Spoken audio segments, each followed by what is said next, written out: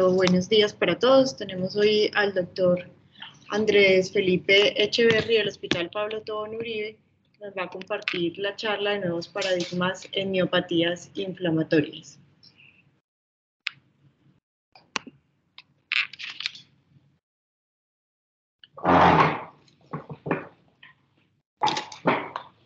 Muy buenos días a todos.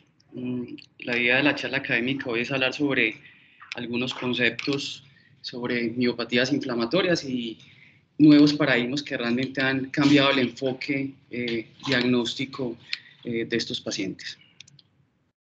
La charla la vamos a desarrollar pues con unos conceptos eh, claves en la definición y la clasificación. Vamos a hablar del rol de los nuevos autoanticuerpos en miopatías inflamatorias. Vamos a hablar también del papel actual de la resonancia. En qué momento debemos hacer la electromiografía y la biopsia de músculo, cómo ha cambiado nuestro enfoque clásico versus un enfoque actual en el proceso diagnóstico de estas miopatías y vamos a discutir unos casos clínicos eh, relacionados a la experiencia que hemos tenido en los últimos meses en nuestra institución eh, con pacientes con miopatías y, y la medición de los paneles de anticuerpos. Entonces vamos a arrancar con la definición. Te recordemos que las miopatías inflamatorias idiopáticas son un grupo heterogéneo de enfermedades autoinmunes sistémicas que tiene una variabilidad clínica importante y un pronóstico dependiendo de cada fenotipo. Sabemos que aunque el dominio clínico predominante es el muscular y se asocia a la presencia de debilidad muscular proximal principalmente, en algunos casos mialgias y pérdida de la masa muscular y atrofia, eh, hay otras manifestaciones clínicas extramusculares eh, importantes como el compromiso cutáneo, procesos inflamatorios articulares, enfermedad pulmonar intersticial y en algunos casos específicos la presencia de miocarditis. La clasificación realmente de las miopatías inflamatorias ha cambiado en el tiempo y desde la década de los 50 cuando teníamos las, las definiciones clásicas y después posteriormente eh, los criterios de clasificación de Bohan y Peters, hemos hablado siempre de dermatomiositis, dermatomiositis amiopáticas, el concepto de polimiositis, la miositis por cuerpos de inclusión, pero con el tiempo se han venido agregando unos nuevos subgrupos de miopatías, eh, todo muy asociado a la medición de los nuevos autoanticuerpos, como el síndrome antisintetasa y las miopatías necrotizantes inmunomediadas. Es posible que en los próximos consensos vayan agregándose subgrupos cada vez mayores eh, y estemos hablando también posiblemente de miositis asociada a cáncer o de miositis overlap, que es un concepto relacionado a pacientes con enfermedades autoinmunes que tienen presencia de miopatía. Estos cambios en el tiempo eh, y la, digamos, eh, el encontrar todo este perfil de autoinmunidad tan importante mediando este tipo de condiciones, posiblemente haga que el concepto de miopatía inflamatoria idiopática se cambie y estemos hablando después de unas miopatías autoinmunes sistémicas como concepto definitorio de todo este grupo de condiciones. El concepto de polimiositis en el tiempo también ha cambiado mucho y actualmente aún es controversial, dado que inicialmente con las clasificaciones eh, clásicas eh, había un grupo muy grande de pacientes con diagnóstico de polimiositis, pero posteriormente con el descubrimiento de autoanticuerpos y con los nuevos subgrupos nos hemos dado cuenta que muchos de esos pacientes con diagnósticos de polimiositis realmente tendían, tenían síndromes antisintetasas, miopatías necrotizantes inmunomediadas y por eso cada vez es un subgrupo más pequeño dentro de este, de este grupo grande de las miopatías inflamatorias. Eh, aún tenemos que seguir hablando de polimiositis porque tenemos pacientes que no cumplen criterios ni para una miositis overlap, ni para una dermatomiositis, ni para un síndrome antisintetasa, tienen autoanticuerpos negativos, pero tienen un patrón histológico característico, que es el infiltrado endomicial y, y el infiltrado de linfocitos TCD8, eh, posiblemente a futuro, cuando se hagan descubrimiento de nuevos autoanticuerpos, es posible que vayamos encontrando y relegando cada vez más eh, este, este subgrupo. Y el rol de los nuevos autoanticuerpos en la definición de subgrupos de miopatías y fenotipos asociados a estos autoanticuerpos específicos. Entonces, ¿cuál ha sido el rol de estos, de estos autoanticuerpos? Y recordemos que para nosotros, siempre en nuestra práctica, los anticuerpos antinucleares han sido una herramienta muy útil y que el patrón de los anticuerpos antinucleares también nos ayudan eh, a inferir cuál, cuáles tipos de anticuerpos específicos podrían estar relacionados a miopatías.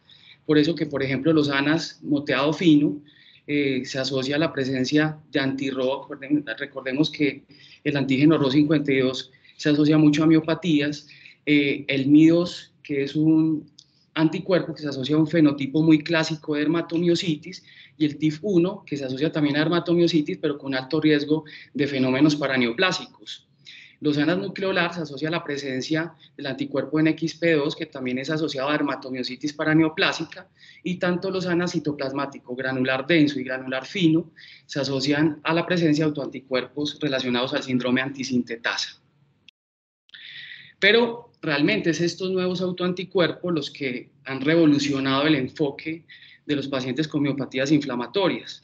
Entonces, podemos dividirlos en dos grandes grupos, unos autoanticuerpos que son músculo específicos, que son los de la columna a la izquierda, y otros autoanticuerpos que relacionamos como asociados a miocitis, que son autoanticuerpos que están presentes en otras condiciones eh, reumatológicas como el síndrome de Sjögren, el lupus, la esclerosis sistémica, pero que tienen eh, un alto riesgo de generar miocitis eh, dentro de las manifestaciones clínicas. Sabemos que dentro de, de las miopatías inflamatorias idiopáticas en la actualidad, al menos el 70% de estas miopatías se van a asociar a la positividad de alguno de estos autoanticuerpos, o sea que realmente vamos a hablar que un 20 a 30% aproximadamente van a ser seronegativas. Y esta seronegatividad se debe primero a que no conozcamos eh, los autoanticuerpos que están mediando este proceso y en este grupo de pacientes es en los cuales muchas veces en nuestros esquemas de enfoque diagnóstico utilizaremos la resonancia y las biopsias de músculo para definir las etiologías específicas. Algo muy importante de estos autoanticuerpos es de que podemos encontrar subgrupos que se pueden asociar a diferentes manifestaciones clínicas. Entonces, por ejemplo, el panel de anticuerpos asociados a síndrome antisintetasa eh, puede que genera pues el cuadro clínico característico, también tiene una alta asociación con compromiso pulmonar intersticial. Eh, adicionalmente, todos estos anticuerpos del síndrome antisintetasa están sumergidos en el grupo de las miocitis overlap, que eran las que decíamos son pacientes que tienen diagnóstico de enfermedades eh, autoinmunes como lupus, esclerosis sistémica y a su vez presentan miocitis que pueden estar asociados a los anticuerpos eh, como el PM SCL, el RNP, el RO y el LA. Hay otros grupos de autoanticuerpos que asocian a fenotipos de dermatomyositis clásica como el MI2A y vemos cómo hay otros subgrupos que se asocian con alto riesgo de malignidad como el TIF1 y el NXP2, los que se asocian a miopatías necrotizantes inmunomediadas como son el anticuerpo contra la hidroximetilglutarilcoenzima reductasa y el SRP. Algunos de ellos pueden estar con antecedente de exposición a estatinas o ser naiva a las estatinas y también que se ha descrito que las miocitis por cuerpos de inclusión hay un autoanticuerpo que aunque no es específico, que es el CN1A, se puede presentar también en Sjögren y, y, en lupus eritematoso, pero que si hay una alta sospecha clínica y tenemos positividad de, este, autoanticuerpo que podemos medir en el panel de miopatías, podríamos establecer también diagnóstico de miocitis por cuerpos de inclusión. Entonces, como vemos, el rol de los nuevos autoanticuerpos, pues han revolucionado el enfoque de las miopatías. No solamente nos han permitido establecer subgrupos clínicos con unas características particulares, sino que también nos ayudan a establecer un pronóstico y unos perfiles de riesgo en estos pacientes. Y la disponibilidad rápida de este panel de miopatías pues nos puede ayudar también a optimizar los recursos hospitalarios. La resonancia, el papel actual de la resonancia, tenemos que determinar que realmente es una herramienta muy útil. No solamente nos va a ayudar en el diagnóstico de miocitis y, y demostrarnos no solamente el edema muscular en las secuencias STIR, sino que también la distribución, como vamos a ver en un artículo posterior, nos va a ayudar también como a determinar la posible etiología eh, que está generando eh, la miopatía. Eh, las secuencias STIR realmente tienen una sensibilidad cercana al 100% para detectar el edema óseo. Eh, Y realmente otra de las ayudas importantes de la resonancia es de que cuando nosotros hacemos biopsias musculares a ciega puede haber un, digamos, una tasa de falsos negativos de aproximadamente un 23%, mientras que si lo hacemos, eh, digamos, orientados por una resonancia, ese porcentaje puede bajar hasta menos del 5%. A veces las desventajas es la disponibilidad en ciertos centros para poder tener la resonancia, pero realmente en la actualidad es una herramienta bastante útil, no solamente para el diagnóstico, sino también para definir el sitio de la biopsia. Como les decía, cada vez el uso de la resonancia en el, en el enfoque de los pacientes con eh, miopatías inflamatorias ha permitido una curva de aprendizaje importante eh, en los servicios de radiología y ya cada vez se están describiendo como unos patrones específicos que se pueden asociar a cada uno de estos subgrupos. Es por eso que en este artículo de ellos eh, estudian 66 pacientes con miopatías inflamatorias de diferentes tipos comparado con 10 pacientes sanos y encuentran que realmente sí hay ciertos patrones. Entonces, por ejemplo, en resonancia podemos encontrar que en dermatomiositis y en polimiositis hay un patrón muy parcheado de edema muscular con edema de la fase y del tejido subcutáneo. En las miopatías necrotizantes inmunomediadas, pues el, el, el edema muscular es mucho mayor, pero es mucho más homogéneo y se asocia mucho recambio tanto en pelvis y en los aductores comparado con el patrón de dermatomiositis. Y en los pacientes con miositis por cuerpos de inclusión encontramos una afectación muy importante del vasto que respeta el recto femoral y a diferencia de los otros encontramos mucho patrón de atrofia muscular. Entonces, ellos realmente evalúan tres parámetros que son el edema muscular, el recambio graso eh, y la atrofia muscular. Entonces, eh, es posible que con el tiempo eh, cada vez que se esté haciendo los estudios, la curva de aprendizaje vaya mejorando, vamos a tener unas, descripciones mucho mejores de estos patrones. El papel actual de la electromiografía y, digamos, el enfoque de estas miopatías, pues se ha relegado un poco, pues con el advenimiento de las serologías y la resonancia. Eh, obviamente sigue siendo una herramienta muy útil, eh, en esos pacientes que tienen miopatías subclínicas con CPK normal o levemente elevada para ayudar a confirmar la, evidencia de un patrón miopático. Eh, recuerden que siempre hacemos eh, la electromiografía en un hemicuerpo para poder hacer la biopsia contralateral y nos va, a ayudar a ubicar el sitio adecuado de la biopsia, pero también tiene un rol importante en la búsqueda de diagnósticos diferenciales de otras condiciones que pueden hacernos puede sospechar eh, compromiso homeopático descartar polineuropatías asociadas al cuadro clínico. Entonces, eh, el uso cada vez es menos, pero sigue siendo una herramienta importante en estos escenarios clínicos. La biopsia de músculo pues sigue siendo confirmatoria y es el gol estándar en el diagnóstico de las miopatías, pero eh, su rol creo que sigue siendo relevante en aquellas miopatías sin compromiso cutáneo y en la actualidad que tengan autoanticuerpos negativos siempre va a ser muy importante para la búsqueda de diagnósticos diferenciales, sospechas de distrofias. Igual tenemos que tener en cuenta que nuestro medio sigue siendo un método invasivo y que realmente hay un solo centro en Colombia con la capacidad de procesamiento y conocimiento pues, en, en, en, en el desarrollo y, y, proceso de estas muestras, por lo cual a veces la disponibilidad y el tiempo de espera pues, puede limitar muchas veces el enfoque de estos pacientes.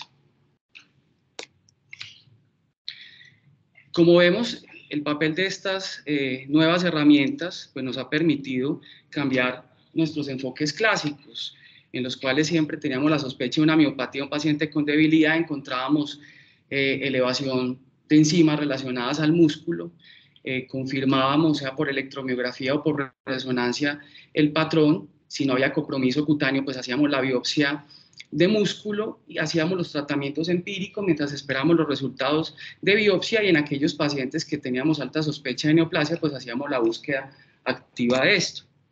Ahora el enfoque, pues digamos, ha cambiado. Eh, este es el enfoque que encontramos en el artículo de Ashton y vamos a ver que primero, cuando tenemos un paciente con debilidad proximal y tenemos síntomas crónicos, eh, o síntomas de debilidad de más de un año de evolución y estamos ante la sospecha de una miositis por cuerpos de inclusión, pues inicialmente podemos hacer el test de anticuerpos CN1 que está disponible en el panel de miopatías Eh, si la clínica es bastante sugestiva, se podría considerar el diagnóstico. Si es negativo, pues podríamos hacer la resonancia y la biopsia para hacer el diagnóstico específico. Si es un proceso agudo o subagudo, estamos sospechando los otros subgrupos de miopatías, dermatomiositis, miositis overlap o miopatías necrotizantes autoinmunes, pues lo que queríamos hacer inicialmente es el panel de miopatías con el set de autoanticuerpos. Si estamos sospechando alguna enfermedad del tejido conectivo, pues hacer el estudio de los ANA, los ENAS, el anti-DNA. Y aquí lo importante es que si alguno de estos eh, autoanticuerpos es positivo y es compatible con la clínica del paciente y con el fenotipo clínico, pues ya prácticamente podríamos hacer la el diagnóstico y clasificar y subclasificar al paciente de acuerdo al compromiso que tenga. Si estos autoanticuerpos no se identifican o son negativos, pues ya podríamos seguir el flujograma, la realización de la electromiografía o resonancia para determinar eh, la presencia de la miocitis y el sitio de, de biopsia y la realización posteriormente de la biopsia muscular para el diagnóstico. Entonces, ahorita vamos a hablar sobre unos casos clínicos, eh, unos fenotipos y autoanticuerpos y la experiencia que hemos tenido en nuestra institución con la medición del panel de miopatías. Entonces, el caso clínico número uno es una mujer de 48 años que llegó a la consulta externa por un cuadro de debilidad muscular de tres meses de evolución. Adicionalmente, venía con pérdida de peso y síntomas constitucionales, refería a unas artralgias de características mixtas, no había otros antecedentes relevantes al examen físico. Eh, traía ambulatoriamente una CPK que reportaba un valor en 840 y una electromiografía donde se reportaba la presencia de un patrón miopático. La paciente se decidió hospitalizar para estudios, se solicitó el panel de miopatías. Cuando solicitamos el panel, pues nos dimos cuenta que iba a demorarse aproximadamente cuatro semanas. Eh, salieron los primeros eh, autoanticuerpos donde tenía unos ANAS 1 en 160 granular con la presencia de un anti-RO y esto ya nos generó la sospecha de la posible presencia de un antígeno RO52 y dentro de los estudios que realizamos eh, el TAC de tórax demostró la presencia de un nódulo pulmonar espiculado que se hizo evaluar por cirugía de tórax por el alto riesgo de malignidad se decidió llevar a cirugía para resección. Eh, en ese momento decidimos de todas formas realizar biopsia de músculo, era la primera vez que solicitamos el panel y después, posteriormente, cuando llegó, se confirmó la presencia del antígeno RO52 en el panel de miopatías. Eh, la biopsia confirmó la presencia de un adenocarcinoma pulmonar y la biopsia de músculo posteriormente reportó eh, la presencia de infiltrado endomicial con, la, con linfocitos TCD8 positivos compatible con una polimiositis. Realmente como las manifestaciones musculares no eran graves, eran síntomas más bien leves, eh, se le dio un manejo con dosis bajas de prednisolona, la cual se ha logrado ya descender a 5 miligramos.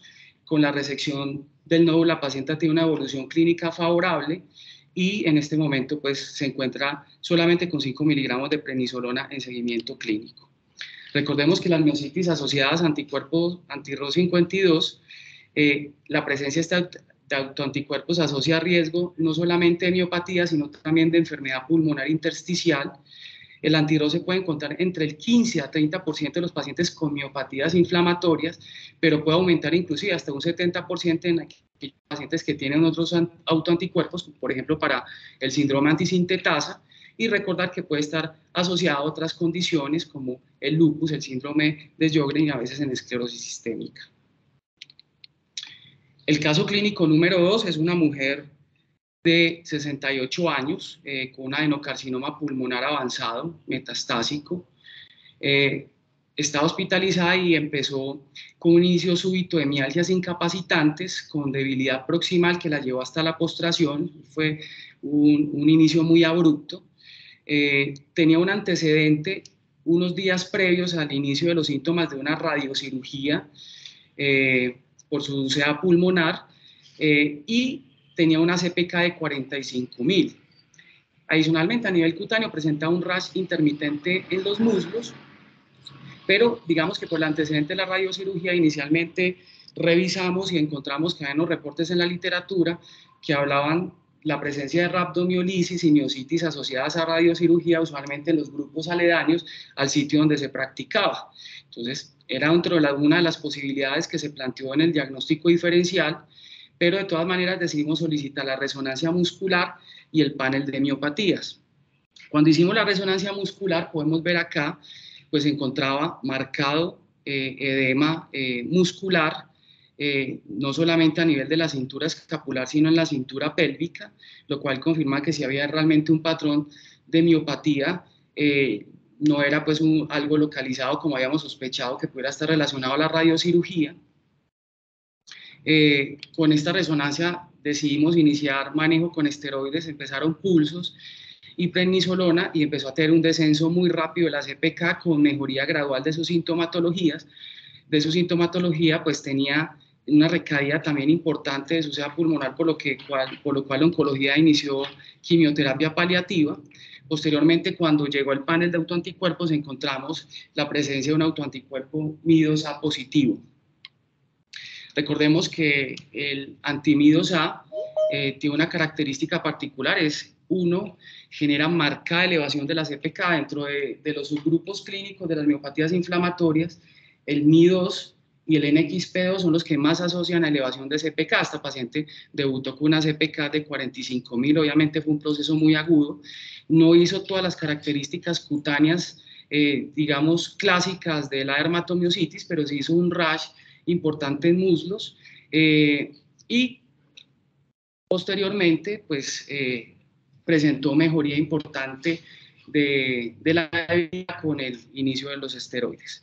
Eh, la miositis asociada a anticuerpos MIDOS-A se asocia un fenotipo clásico de dermatomiositis. Decíamos que eleva mucho la CPK junto con el anticuerpo NXP2 que también se asocia a fenómenos paraneoplásicos. Eh, excelente respuesta al tratamiento con corticoesteroides y usualmente es eh, una dermatomiositis que se asocia a buenas tasas de remisión. El caso clínico número 3 es una mujer de 87 años que empezó con unas lesiones cutáneas características de dermatomiositis, algunas ulceradas y como de característica abrasiva, con debilidad proximal y una disfagia realmente muy importante, eh, ya confirmada por fonoaudiología. Eh, no llegó con una CPK tan elevada, 1298, hospitalizamos y solicitamos panel de miopatía, estas son las imágenes de la paciente, encontramos pues un eritema en heliotropo, tenemos también el signo de Holstein presente y tenía un patrón pues clásico de dermatomiositis, tenía pápulas de Gotron, eritema periungular, pero llamativamente tiene unas lesiones de un rash muy severo, inclusive con ulceraciones y con algunas zonas de necrosis, daba como una apariencia clínica como de una quemadura. Eh, a esta paciente le hicimos el panel de biopatías y tuvo positividad para el anticuerpo, eh, para el antígeno RO52 y el TIF1. Recordemos que el anti, eh, TIF1 eh, se asocia a un patrón de dermatomiositis con un rash cutáneo muy severo, muy similar al que tenía nuestra paciente, con úlceras, con lesiones muy abrasivas, necróticas, hay una característica de este autoanticuerpo que es el que ha presentado nuestra paciente y es la presencia de una disfagia muy severa que realmente eh, ha sido pues como eh, la parte más compleja en, en, el manejo de ella en la actualidad y eh, tenía pues el patrón característico del signo de Holstein, tenía la miositis y todo el patrón clásico de dermatomiositis. Una cosa importante con este anticuerpo es el alto riesgo que tiene de malignidad asociada, por lo cual se recomienda el, el uso de estudios de extensión. Entonces, a esta paciente le dimos pulsos de metilprednisolona durante tres días, se le dejó posteriormente prednisolona 0.5 miligramos día que ha venido en dosis descendentes, le dimos eh, manejo con inmunoglobulina, ha tenido normalización de la CPK, una mejoría gradual lenta de su debilidad muscular, pero aún persiste con disfagia grave. Recientemente presentó una neumonía broncoaspirativa y los estudios de extensión hasta el momento pues, no ha presentado hallazgos de malignidad. Esta es la evolución de la paciente. Vemos ya mejoría importante el componente cutáneo. Esta era la, lesión que mostramos en la zona B del cuello, en donde ya vemos eh, resolución de las zonas ulceradas y necróticas que presentaba inicialmente. El caso clínico número 4 es una mujer de 48 años, tenía antecedente de colocación de biopolímeros en glúteos y posterior a la colocación de estos biopolímeros empezó con un cuadro de inflamación local a nivel de los glúteos y posteriormente empezó con un cuadro de debilidad muscular proximal. Empezó con lesiones cutáneas difusas, que ahorita se las voy a mostrar, y un cuadro de unas artralgias inflamatorias eh, muy simétricas. Empezó con caída del cabello, ingresó con una CPK de 1800, no era muy elevada, y decidimos solicitar el panel de miopatías. Estas eran las lesiones que tenía a nivel de glúteos por los biopolímeros, pues habían zonas ya hiperpigmentadas por el tema que tenía previo, por la inflamación local que había presentado. Eh, adicionalmente tenía a nivel de las palmas de las manos unas lesiones eritematosas, eh, como podemos ver ahí, algunas con presencia de ulceración, tenía además eh, eritema periungular, pápulas de Gotron y llama la atención en la segunda metacarpofalángica izquierda la presencia de un Gotron ulcerado, como podemos ver ahí. Adicionalmente, pues tenía un eritema y un edema en heliotropo. Inicialmente, pues dentro del enfoque, pues la, la teníamos con una dermatomiositis con presencia de un Gotron ulcerado. Se había sospechado la, la, posibilidad de un síndrome de Asia por, por el antecedente de los biopolímeros. Al examen físico le habíamos encontrado también eh, crépitos basales e hicimos eh, una tomografía que reportó un patrón de neumonía intersticial usual. Ya con este reporte también de, del TACAR decidimos iniciarle pulsos de metilprednisolona y ciclofosfamida y posteriormente cuando tuvimos el reporte del panel de, de autoanticuerpos encontramos la presencia de un MDA5 positivo eh, junto con un RO52. Recordemos que el patrón anti-MDA5 se asocia a alopecia, la paciente tenía caída del cabello, tenía un patrón clásico de dermatomiositis, eh, una alta asociación del MDA5 y más cuando se asocia al ROS52 a la presencia de enfermedad pulmonar intersticial. Algo muy llamativo y que veíamos eran las lesiones palmares con esas eh, placas eritematosas, algunas ulceradas y el gotron ulcerado que la paciente presentaba. Eh, se asocia también a poliartritis, la paciente ha presentado también cuadro de artralgias inflamatorias y pues el compromiso clásico que vimos. Ya eh, la vi en consulta eh, esta semana, ya se le formuló la sexta dosis de ciclofosfamida esta semana, ya ha tenido mejoría importante de la fuerza muscular, de las lesiones cutáneas, ha tenido con buena evolución de, del componente pulmonar y tiene pendiente por la realización de las pruebas de función pulmonar para definir la terapia de mantenimiento. Recordemos entonces que eh, dependiendo del autoanticuerpo, pues vamos a tener unos fenotipos eh, específicos. Eh, este es una diapositiva que ha estado circulando en redes sociales, donde pienso yo se resume todo lo que hemos hablado. Hay unos tips clásicos dependiendo del tipo de autoanticuerpo para, para sospechar las manifestaciones clínicas. Eh, acuérdense de la presencia del MA5, como vimos, el compromiso pulmonar intersticial en XP2 y, y, y la presencia del TIF1 asociados a alto riesgo de malignidad, todo el perfil del síndrome antisintetasa y el compromiso pulmonar intersticial, la presencia de autoanticuerpos asociados a miopatías necrotizantes eh, algunas asociadas a estatinas, y eh, el anticuerpo CN1A en los pacientes con miopatías de cuerpos de inclusión. Entonces, para dejar tiempo para la discusión, eh, entonces vemos, y yo creo ya como conclusiones, que la importancia pues en el panel de miopatías, realmente veo yo que es en tener un acceso rápido a ellas, vemos como en los algoritmos necesitamos tener acceso rápido para realmente sacar todo el provecho eh, del enfoque inicial de nuestros pacientes. Vemos como cada vez hay un rol más protagónico la resonancia, no solamente para el diagnóstico, sino para eh, encontrar el sitio específico eh, más adecuado para la biopsia, evitar falsos negativos si necesitamos hacer biopsia de músculo.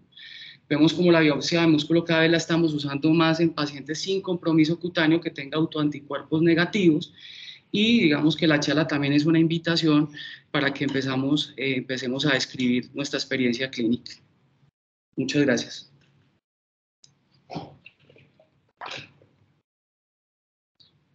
Preguntas, comentarios, eh, ¿quieren discutir alguno de los casos que, que presenté?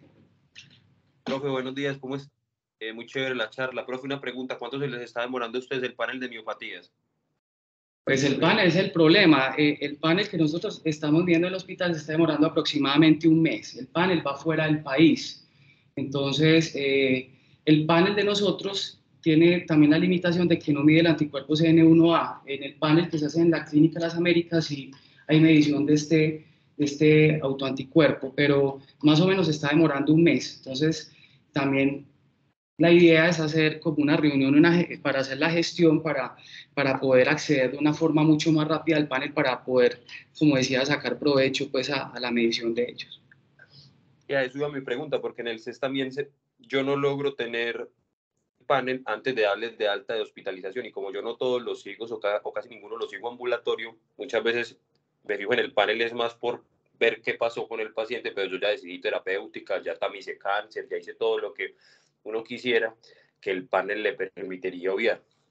Exactamente, lastimosamente ese es el problema que tenemos en la actualidad. Ya yo creo que es un avance muy grande el poder hacer la medición del panel, pero la idea es poder tener un acceso rápido a él para, para poderle sacar pues como todo el provecho y, y evitar biopsias de pronto innecesarias o, estudios innecesarios eh, que se podrían de pronto ahorrar. Hola Andrés, eh, mil gracias por la por la charla. Eh, ¿Cuál sería la manera correcta de solicitar la resonancia? ¿Se pediría simple de cintura escapular y pélvica consecuencias STIR o cómo, cómo se pide? Sí, doctor. usualmente como la estamos haciendo es una resonancia comparativa de cintura escapular y cintura pélvica, eh, haciendo en, la realización de secuencias STIR. Eh, como los parámetros que se evalúan en resonancia son edema muscular, recambio graso y atrofia, pues eh, con las secuencias T1 y las secuencias STIR eh, nos ayudamos muchísimo pues para poder establecer el diagnóstico. Lo estamos solicitando como resonancia comparativa de cintura escapular y cintura pélvica. Eh, yo en el CES estuve pues trabajando con un radiólogo que le gusta mucho musculoesquelético, pues que se llama Miguel Vega, estuvimos revisando los protocolos y hay un protocolo pues porque pedir, hay que, que pedir dos resonancias, una de cintura pélvica y escapular. hay protocolos en el mundo de resonancia corporal total. Veces incluso baja el costo a pesar de ser corporal total, pues porque es un solo barrido. Pero estoy tratando de trabajar en eso, sino que pues ha sido difícil por la parte de la autorización de SURA, pues de la resonancia, pero es otro, otra forma de, de realización o de método que incluso ellos dicen que es más barato porque a veces eh, lo que puede pasar es que puede haber edema muscular de las alturas, que también le ayuda a que el profe ahorita mostrara lo del vasto lateral y demás en, en, en, cuerpos de inclusión. Entonces, que a veces ellos me decían que se pueden pasar cosas si solo se hace cintura pélvica o escapular, me decía pues Miguel el radiólogo.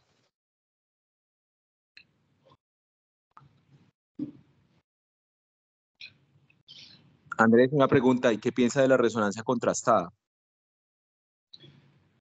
Pues inicialmente, eh, pues no, no, digamos, no sería pues como necesaria siempre y cuando tengamos las secuencias STIR, pero pues eh, ya sería hablar técnicamente con radiología si realmente el contraste sí les aporta, digamos, más, más detalle en, cuanto a definir eh, el compromiso y la extensión del compromiso. Pero inicialmente, pues lo importante es contar con secuencias T1 y STIR.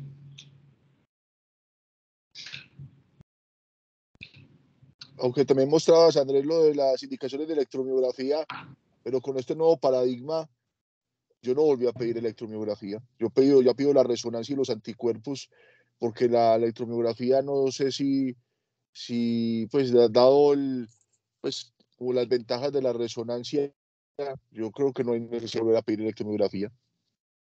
Exacto. cada vez, como decíamos, el papel se ha relegado cada vez más.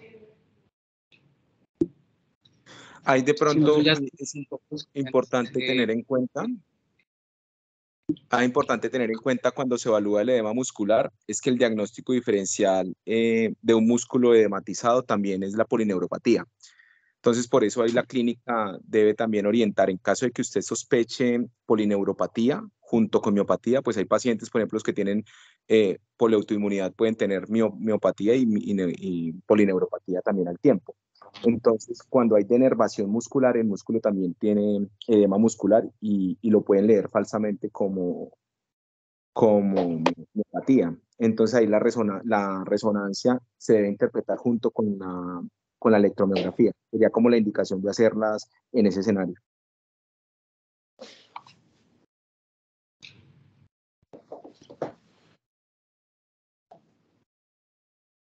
Está, excelente esta charla para presentar en la reunión de nosotros de Sorreuma de Mayo. Qué golazo, profe.